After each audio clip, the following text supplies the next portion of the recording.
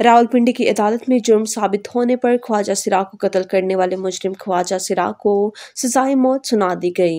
Additional session जज रावलपिंडी जहांगीर अली ने मुकदमे का फैसला सुनाया। ख्वाजा सिरा आमिर मसीह उर्फ़ पोली को गुजशत साल जून में रावल टाउन में कत्ल किया गया था। ख्वाजा सिरा मुजरिम गुलाम मुर्तजा उर्फ़ अनमोल ने जाती रंजिश पर आमिर मसीह उर्फ़ पोली को छुरियों के वार से कत्ल किया था। एक बार फिर आपको बताते चले कि रावलपिंडी की अदालत में जुर्म साबित होने पर ख्वाजा सिराग को कत्ल करने वाले मुजरिम ख्वाजा सिराग को सजाए मौत सुना दी गई। एडिशनल सेशन जज रावलपिंडी जहांगीर अली ने मुकदमे का फैसला सुनाया।